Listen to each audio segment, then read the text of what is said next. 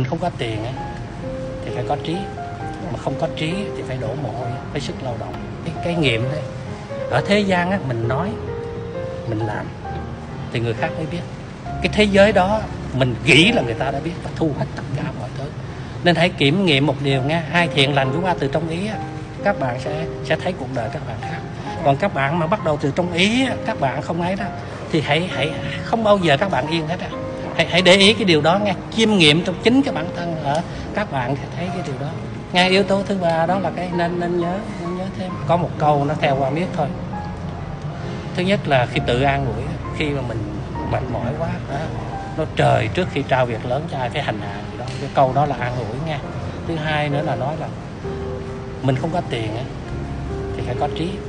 Mà không có trí thì phải đổ mồ hôi phải sức lao động và phải dùng nó những cái thứ đó để để nó làm chút điểm tựa cho mình để điểm tựa cho mình Tức là nếu nói khởi nghiệp hiện nay các bạn nó nó, nó gần như nó nó không phải là con số không nữa.